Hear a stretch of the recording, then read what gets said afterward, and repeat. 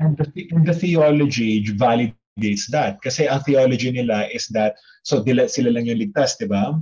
And, and paano ka maliligtas if you fully surrender your will to the Father?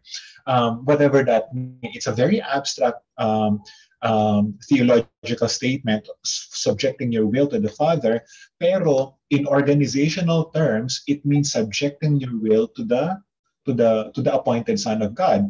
Kaya nga, they could be harassed, they could be raped, they could be manhandled, diba? Kasi he is the um, embodiment of the of the, of God there. So you're so that's very um, so consistent. Eh? It's a very consistent uh, coherent theology.